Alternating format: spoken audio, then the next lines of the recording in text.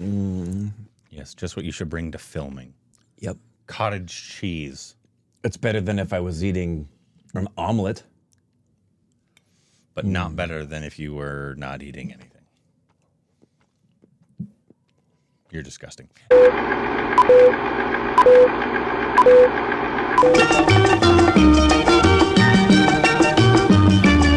Back to our stupid Rex of Korbin.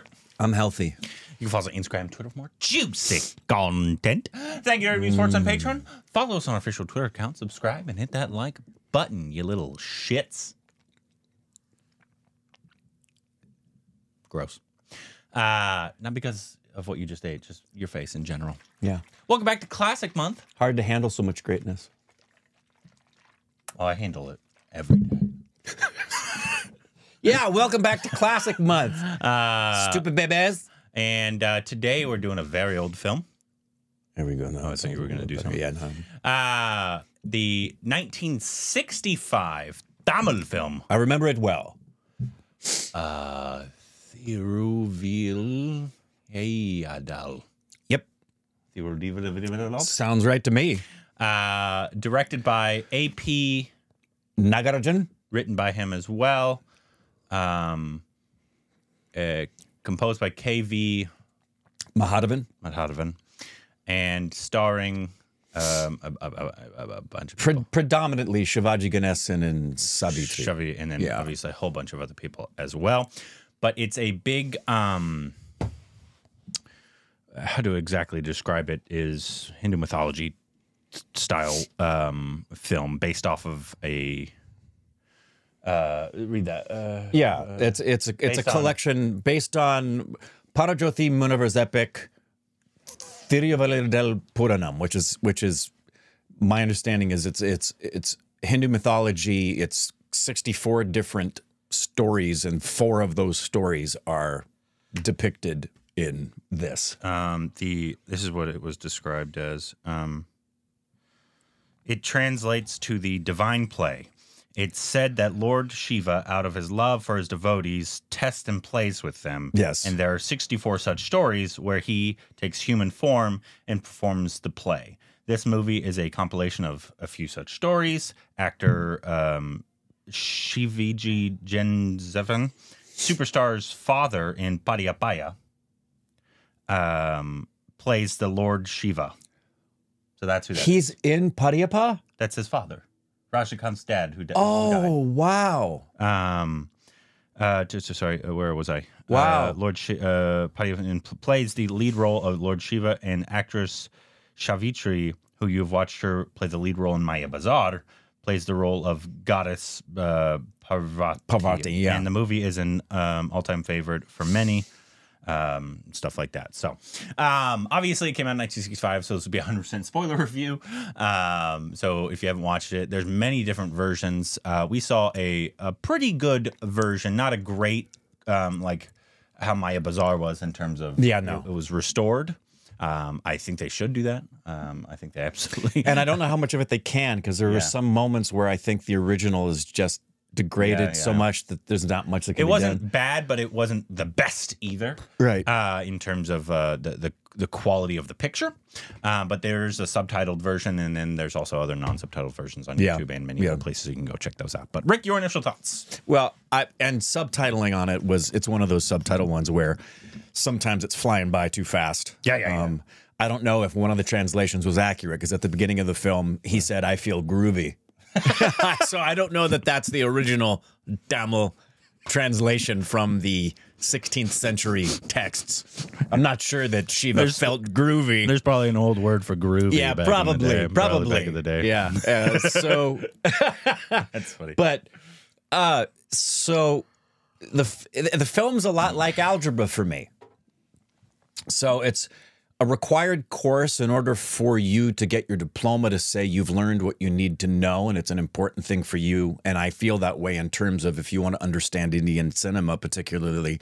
tamil cinema this is something that you have to do. But also like algebra for me it's it's it's not something that was i i didn't I wasn't fully engaged. There's a lot of it I didn't get, and it's not something I would revisit. So for a classic, for me, my subjective own thing, I appreciate a lot of the technical merits of it that yeah, we'll talk yeah. about. That's that's for sure. But on the whole, it it was something that I'm I I'm glad I saw in light of the fact that I I feel like you have to see it to have an understanding of Tamil cinema, but it's not it's not something I would I would revisit. Um, yeah, I I enjoy I enjoyed it not for like in the in the same way that I enjoy other classics because it felt so different. Yeah. because it felt like I was watching almost a play, like a, in different acts of a play. Obviously, because it's based off of, so that makes sense. Right, Obviously, right. Because it, it's the way it's set up is there's this big broad thing that happened with, um, um, I believe it was Lord Shiva and his his wife and their kids, who And the mango, are- I think the fruit. Yeah. who are Ram and I believe, uh, correct me if I'm wrong here, Ram and, and Ganesh, um, uh, I believe was the other one. Um, at least that's what I gather because I've seen a little more of like the mythology kind of things than you have, Right. Like that, um, um, that thing last year with Prabhas, and Right. The, the anime that I watched, and so I've seen a little bit more of of that. But these were all new stories. These weren't what what I watched. So, but the characters. Oh, okay. So yeah, the four stories were not something. No, no, seen. no. This is not. This is not something in there. But the characters, I believe, were, were some of the same characters. Um, so it was super interesting to watch each different part, and there were elements. There's no way I got all of it because you know I'm not connected to these these gods or these these stories because I didn't grow up with them. Right. And so a lot of the people that I'm sure watched this were like, "Oh, this is the story that I've heard Right. for for the long time." Then Right. I'm seeing it on screen. Right. Um, and so no, I did not get all of that, but it was it was super cool um, seeing all these different things, especially some of the technical sides. Yeah, the Um, technical aspects uh, and in terms production of pr- design. production design, uh, some of the stuff that they did for 1965 in Tamil cinema was really fun and cool. yeah, some was Um, fun and cool, and some of it was Yeah. good grief. That's putrid. Yeah. Yeah. Um, but and then some of the old school uh, style comedy that was involved. Uh, I did like some of the comedic things, particularly in the poem section, the poetry guy, Mm-hmm. and then the fight on the beach with the shark story. Yes. That yes. was that was fun. that was a lot of fun. Yeah, I liked that a Um, lot. Yeah, and then the singer guy when everybody was coming out, and it was like very vaudevillian. Yeah. uh, some of the some of the comedy there. Um, Even the sound yeah. was very vaudevillian. and so like I enjoyed Cops. it in those little in those in those parts uh, of just like I was like marveling kind of like at this captured in time moment of of cinema. Uh, and it's not like the same way I could enjoy like what we saw earlier this year, like Shri uh, 420, which is obviously more of a um, familiar format Right. of storytelling Right. uh, for for us. Yeah, this Um, is this is not even almost like set up like a movie. It's set up like you know these stories. We're showing you them on screen. Yeah, it's f- set up far more like the best thing I could give as an example, if you're familiar with this in any way, is is, is Japan's kabuki theater. It's very stylized theater. You don't you don't apply to this the the same criteria you do for cinema, not just today, but even for back in the 1960s. Yeah. It's very much a a um a play Yeah. put on screen. Yeah, Yeah. and, and even how they obviously that was heavily the style back in the. And, I, and and I've a, noticed. and a kind of play. yeah, yeah, yeah. and especially for when playing these gods or these deities, and the way they played them, Correct. and how they're like the Right. And they're even- talking like this, and they're, they're very very play like. yeah, and I, I also understand, having read a couple of things about the about the film, that there's there was some great appreciation in the day to the not just the language itself, but the way the actors spoke the language, and it rang true to what people know about the text. yeah. Again, things we could never no, no, there begin to comprehend. Um, but uh, first and foremost, the music, and we have reacted to many songs. yeah, I was I was oh, Man, I've seen this one. Oh, I've seen this one. just as incredible as when we reacted to them. Like especially that that Tamil old Tamil woman, her song is just Yeah, the vocals. man. yeah, vocals on that are incredible. A lot of the he songs are says just that to her. Doesn't he say that to her at one point toward the end? He just says flat out to her, "Old Tamil woman." yes. he does. Once again, Yeah. subtitles. Who knows? What Yeah, actual- exactly. Maybe that's what the translation may have is. been that, but Um, but like the songs in this are incredible. Um, I loved them just as much as I did when we reacted to them. Yeah, I 'Cause they're- enjoyed they're, seeing them again. showstoppers, man. Um, and a, there, a lot of this film is song as well. There's a lot of songs in this. Um, another aspect that you just notice immediately is, and we noticed on the songs, was the the set design. Yeah. Old school set design, which Yeah. is so fun to just marvel at because it's one, it it's for the day. Oh man, was it incredible? Yeah. But obviously now it's not at today's standards by any stretch. No. It's just cool to see that because it's I love old school sets. I've said it many times just because it's so endearing. I Mm-hmm. know this is a set, but it's really pretty. Right.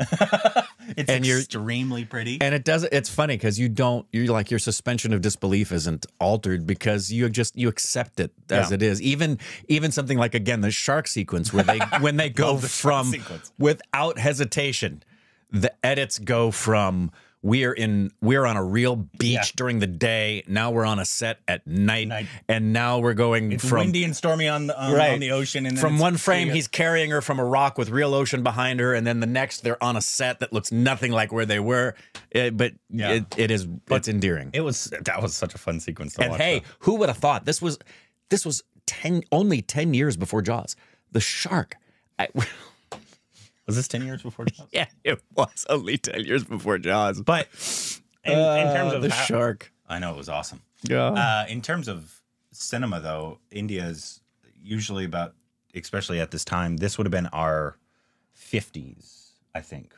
Um, like how how Right, right, how it right. transcribes in terms of- technologically technologically. right This would have been more our yeah 50s, I yeah, think. probably Um, in that even earlier maybe maybe. Yeah Um, but because so you, but I those some of those things are just so endearing and so fun. I enjoyed that shark sequence so much Yes, because it's it was pretty just funny. fun to watch. Yeah. and um, because it's and there's if you watch Jaws, it's comedic actually. A lot of times that shark in, in Jaws, if you watch, back in the day it wasn't back in the so no, funny People are scared, man. terrified i, I Might have been the that- same way with this. I saw that movie with my dad, and I thought that was a real shark. And now you watch it today, and you go, "Hmm, yeah, that's a robotic shark." Like, obviously. Yeah, um, so maybe even back in the day, they, they would have been like that.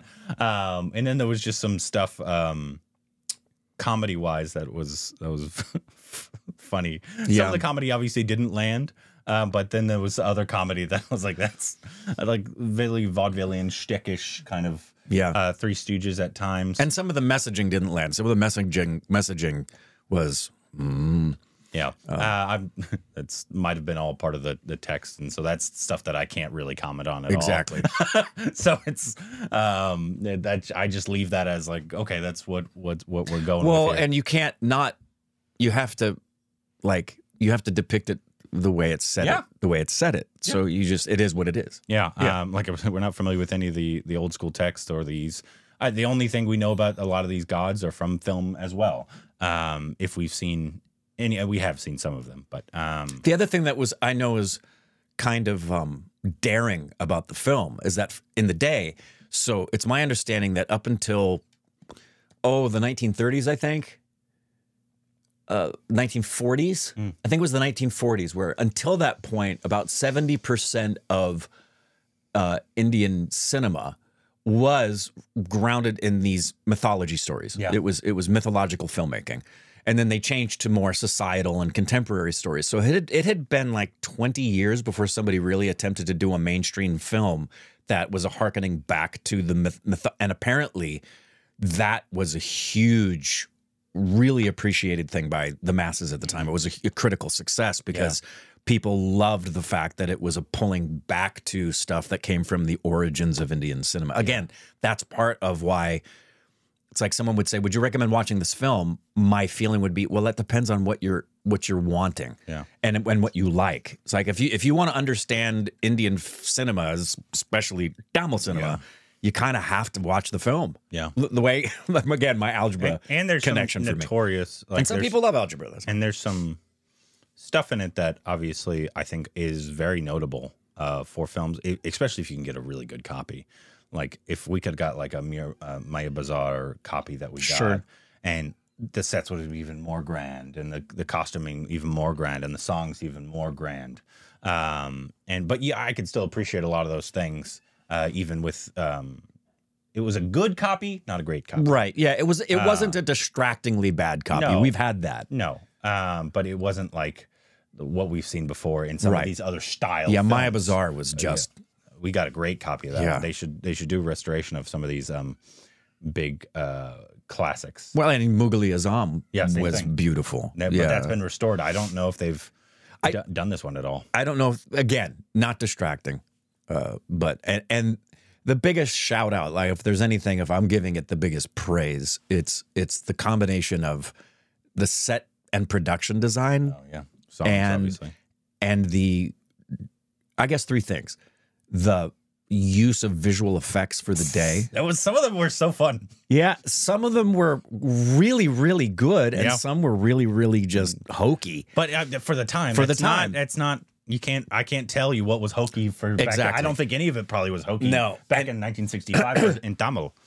And the other thing, which we don't, we we can't be critics of, I just know this by having read the stuff, was the combination of it being pretty groundbreaking to be a throwback to this style of Yeah. filmmaking when everything was societal at the time, as well as the integrity to the text. Apparently, people who know the epics say that the text and the script is. For many of them, they said it was like poetry on the ears to hear the text brought to life Yeah, like if you're Tamil, if you're Hindu, and you've grown up with these stories, It's gotta be I'm sure it's, huge, it's sheer something heart. that was Yeah. um, really near and dear, and I can totally understand that.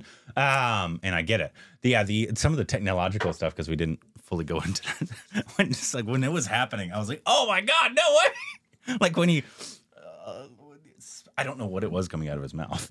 the the fire flame that comes out of him and goes to it- Parvati. Was it supposed to be a fire flame? I- yeah, because he turns her to ash when they're having the fight, the yeah, spears, yeah, yeah, yeah, yeah, yeah.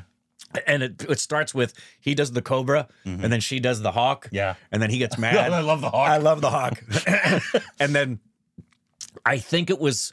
It's interesting because he he he did burn her up, but he didn't burn her up the same way he burned up the the the poetry critic, Yeah. uh, which which is probably what a lot of artists appreciate about this film the most is the fact that the actor completely incinerates the critic. Gotta love it. Um, but yeah, that thing coming out of his mouth Yeah, and yeah. then hitting her. and multiple other times. I, I thought it was actually very good VFX when they um, multiplied that singer, and we we had seen the We song. had seen that. That was really well done. but for 1965, For like I, you saw no like division. No. that that's not that was not easy back in 1965. Same with do. the split screen of he, he and she Mm-hmm. toward at the very very end. That split screen was pretty flawless. and there was a bunch of other things of stuff that they did um, in many different aspects that I thought was just for 1965 in Tamil cinema. It was it felt groundbreaking. Yeah. Um, in what they were doing. Yeah. And I was like, in 1965, this would probably have been really cool. yeah, To see one, the stories that you've grown up with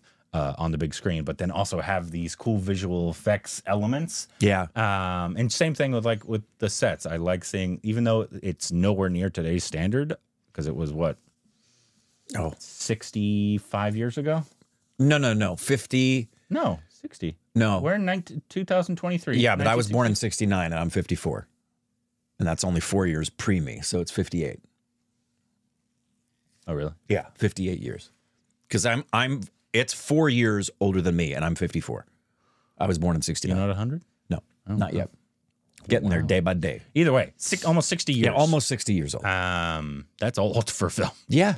Um, Especially for for Indian cinema and especially for Tamil cinema. cinema. Yeah. um, yeah. to do those kind of visual effect things when that was not the common thing for Indian cinema. Yeah. Uh, to try those new things uh, is fun and endearing. Um, so yeah, I'm, I'm glad I watched it. It was it was it was a very different experience from a normal style classic that we've Yeah. seen many times. Very play like, like if you took it right off the stage and it almost I don't know how much would change uh, in it. Um, The only thing that would change would be how you can do some of the visual effects. Yeah, yeah. But and that's the other thing too is is it, you can see how much it mattered to everybody to do what they were doing and and try to just really stretch. I mean, it's so you know comparatively because technology has advanced so much. Yeah. But I don't I don't view this as any less Herculean an attempt at filmmaking as say Cameron trying to do Avatar. Oh, because it was really pushing the boundaries of what was a co- what you could actually accomplish at the time. It was really doing the most you possibly could. Absolutely. Yeah. Anyways, uh, so yeah, that's that. Let us know what you think about the film. If you like it, if you didn't like it, what your thoughts on it are, uh, and what should be our next Tamil classic. Uh, we have so many to get to. Yeah. obviously. Um, but uh, let us know what the next Tamil classic we should get to is down below.